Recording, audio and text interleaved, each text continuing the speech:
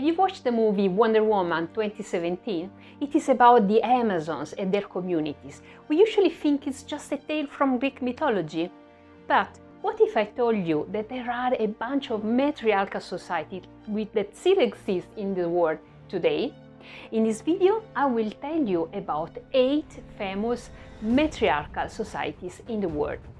And if you don't know me yet, my name is Marilda and I'm looking for women who want to change things. So, if you're among us, please subscribe and leave your comments here below to improve this channel and let's grow together. So, in the matriarchal uh, societies, women are the head of their families. They lead the society and have the power to make rules and laws. Now, let's see eight famous matriarchal societies in the world. Number one, Minangkabau in Indonesia. Around 4.2 million members. Minangkabau is the largest matriarchal society in the world. They live in West Sumatra in Indonesia here women are highly respected. The family name and properties are inherited by daughters from mothers. This community is matrilineal. Married women stay in their parental home and the husbands often don't live with them but visit them.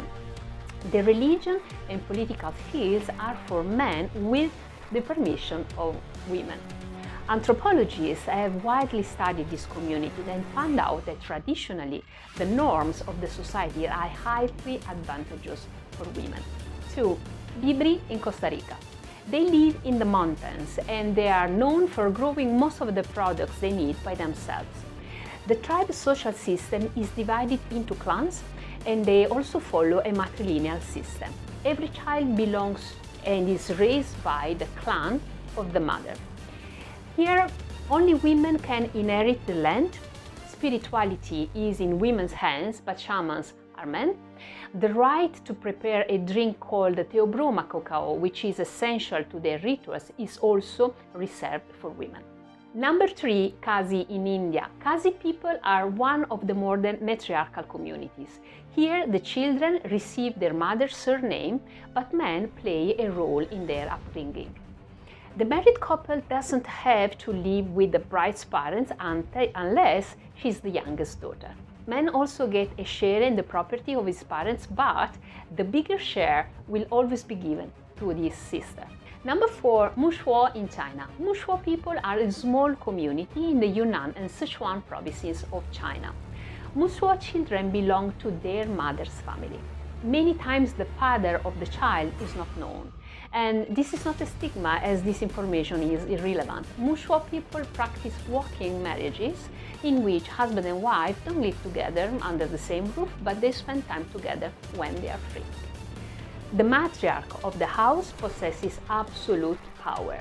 Every decision in the household, including financial ones, is taken by the matriarch. The daughter will become the next matriarch after their mother. Number 5. Nagovisi in New Guinea. Food production is the focus of life here, and women play a dominant role. Husbands of the tribe are assigned to tasks like clearing the land. Every adult woman is entitled to farm food in her ancestors' land, and the right is passed down to her daughter. Nagovisi women are proud of the food they produce in their land. Refusing to eat the food she serves is risky because it is considered disrespectful and it can lead to divorce. Number 7. Akan in Ghana. Again, another matrilineal system. Major positions eh, in the financial and political ladder are assigned by looking at the mother side of the family. Inheritance and successions is matrilineal. Akan is a polygamous society.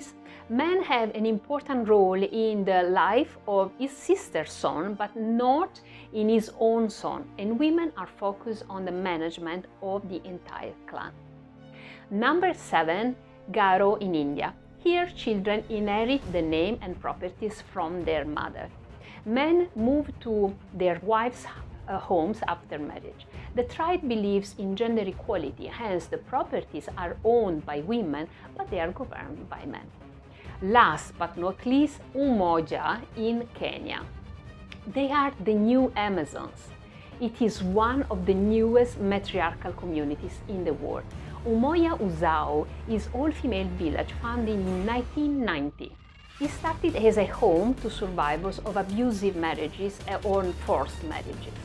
They previously belonged to the Samburu tribe of Kenya, where women are the property of their husbands. Many women were raped or beaten in their family. Women who were abandoned by their husbands or escaped from their misery came to Umoja with their children. The amazing thing is that these women created a new world from themselves. Men are banned from the village. So, I hope you enjoyed it and if so, please subscribe and hit the notification bell. I will see you in the next video about matriarchy. Ciao!